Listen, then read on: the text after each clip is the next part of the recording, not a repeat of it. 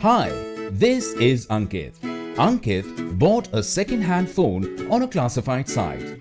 He couldn't test it properly since he met the seller for a short duration. Now, Ankit is very upset as the phone isn't working properly. He talked to so many sellers before finally buying a phone which isn't working properly. This is Rahul. He sells his old gadgets at online classified sites. But he doesn't get fair prices. He wastes a lot of time meeting potential buyers.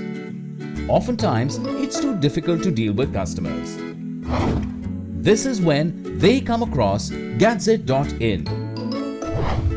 Gadzet.in makes it safer and easier to buy and sell used gadgets. You can buy and sell gadgets across India. This means more options to sell and buy. Buyers will get only certified devices along with a replacement assurance.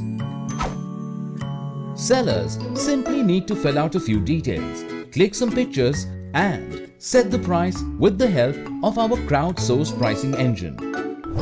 Once buyers find a gadget they like, they pay a refundable advance of Rs 1000 to reserve the device.